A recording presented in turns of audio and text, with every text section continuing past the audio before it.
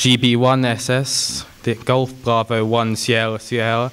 This is GB2 CNS, Golf Bravo 2 Charlie November Sierra, listening and standing by for a scheduled contact with the International Space Station. Hello, Golf Bravo 2 Charlie November Sierra. This is Golf Bravo 1 Sierra Sierra. I read you 555. I'll be over? Hi Tim, this is Tim, M6HDJ. Are, are you ready for your first question? Over. It's great to be talking to you in Norwich, and yes, I'm ready for my first question. Over. Hi, this is Maddie. What do you do if you cut yourself really badly in space? Over.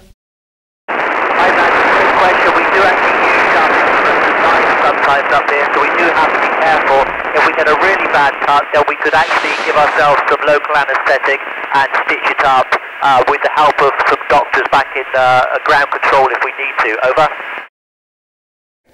Hi, this is Austin. Are there any protocols or guidance in place if George Clooney comes knocking on the front door as he did in the film Gravity? Over. Hi, Austin. Well, as far as I'm aware, we're the only six human beings in space up here, so if anybody comes knocking on our hatch, I'm not opening it. Over.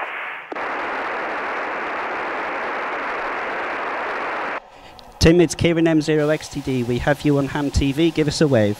Here's your next question. Hi, this is Sophie. What experiment would you like to add to your mission based on the experiences you have had? Over. Hi, Sophie. Um, I would like to see us doing more of the medical research, um, you know, investigating some more vaccines and looking into uh, new drug methods as well. I think that's some of the most exciting research we're doing up here. Over. Hi, this is Max. In what ways does the lack of natural sunlight and fresh air affect you on the ISS? Over. Hi Max, I love opening the windows in the cupola when I'm in uh, Node 3 or in the uh, Japanese module. I love the sunshine coming through the windows and it does make a difference. It does kind of brighten up your day and make you feel better. And you just get used to the fact that we see so many day and night cycles. Over. Hi, this is Charlotte. How do you get changed in space when your clothes go everywhere? Over. Hi Charlotte, they do go everywhere. We have to use bungees, uh, we bungee our clothes down so they don't float off and you don't lose them. Over. Hi, this is Eden. One of the experiments you are conducting in space is to measure fluid shifts in the body. In what way does this help us back on Earth? Over. Hi Eden, that's a great question. Fluid shift really kicks off the whole process of the changes to our body. It's because of the fluid shift we get greater pressure in our head and we start to lose uh, bone density as well. So that triggers all the changes and it's by changing things in our body that we can learn about our body and we can investigate these things. Over. Hi, this is Thomas. With the basic design of the current spacecraft dating back decades, where do you think the next leap forward in spacecraft technology will occur? Over. Hi Thomas, yes, I mean we're playing with basic rules of physics and gravity here and laws of motion so um, I think that we're going to see big changes to our spacecraft in terms of our transit to Mars and transit to Moon um, but in terms of getting to low Earth orbit I don't think we're going to see many big changes that, that we have in current spacecraft design, over. Hi, this is Emily. How different was the, was the training compared to the experience of actually launching into space? Over. Hi Emily, the training was so good that it really prepared us for launching into space and there are very few differences between what we were training for on ground and how we live and work up here in space. Over. Hi, this is Millie. With improving technology on Earth, are there experiments that you are currently carrying out in space that could one day be repeated on Earth? Over.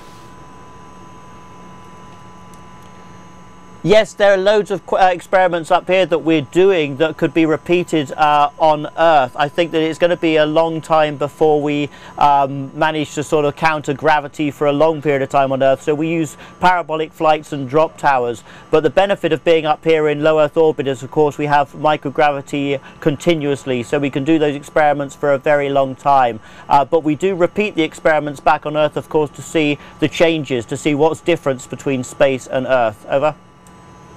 Hi, this is Erin. Which materials being developed with the electromagnetic levitator will have the largest impact on the development of greener living? Over. Hi Erin. Well, I think the metal alloys are the one area of research that are going to have the big impact on greener living um, because that will affect how our engines are designed um, and uh, in particular our commercial aircraft turbine blades and turbine engines, for example, which will cut down fuel production and cut down fuel usage and uh, have a good impact in, in aviation. Over. Hi, this is Maddie asking Lola's question. Since being in space, what has been your most amusing dream? Over. Hi Maddie, do you know I, I haven't dreamt much up here in space uh, and when I do I dream of Earth. I haven't yet dreamt of being in space um, and I think it's because we, we sleep quite heavily up here actually. I, quite, I sleep quite well here in space. Over. Hi, this is Austin asking Libby's question. If everyone in Britain turned their lights on and off at the same time, would you see it from space? Over. Hi Austin, yes you definitely would see it. You know, we would see a, a small village if you turned your lights on and off. It's amazing that um, we, the lights really stand out very well from space um, and certainly a, a major city turning their lights on and off would stand out very clearly. Over. Hi, this is Sophie asking Ella's question. Which part of the Earth do you like orbiting over the most and why? Over. Hi Sophie, uh, I love orbiting over Africa. It just looks beautiful from space. It's like flying over a, a canvas of art. Um, and also North Northern Canada is beautiful, especially right now with all the ice and the uh, even the sea is frozen up there. Over. Hi, this is Max asking Amy's question. With sunrise and sunset occurring 16 times a day on board the ISS, does it have any noticeable effect on your body clock? Over. Hi Max, that's a great question. Yes, it does. You know, if I if I'm looking in the cupola late at night when it's bright sunshine, it does take me a while to get to sleep. Uh, so I try not to do that. You have to kind of try and trick your body that it's nighttime when it's time to go to sleep. Over. Hi, this is Charlotte asking Mimi's question. How does being in space make you relate to your place in the universe? Over. Hi Charlotte, that's a great question. You know, I mean, being up in space gives a different perspective and it makes you realize how vast the solar system is, how vast the universe is, and also it makes you realize that our planet, uh, you know, it has no borders. It's got massive weather systems that uh, are affect all continents, and so it does give you that perspective of, of the planet as a whole. Over. Hi, this is Eden asking Bruno's question. Is there a song or a piece of art that you think reproduces the feeling of being in zero gravity? If so, which one? Over. Hi Eden. Well, I, there's nothing particular comes to mind, but you know some of those pictures where things look uh, different upside down. For example, it might be a beautiful woman one way up and a, an old haggard woman the other way up. I think that's great because it, it makes you realise in space, of course, we have a different perspective depending on which way up we are. Over. GB2CNS returning. That was fantastic, thank you. Everyone here would like to say a big thank you.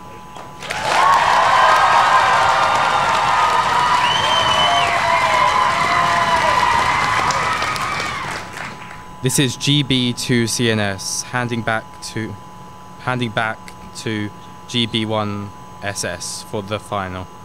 GB2CNS off and clear. It's been wonderful talking to everybody in Norwich this afternoon. Have a great day and thank you for those brilliant questions. Uh, goodbye from the International Space Station. Out.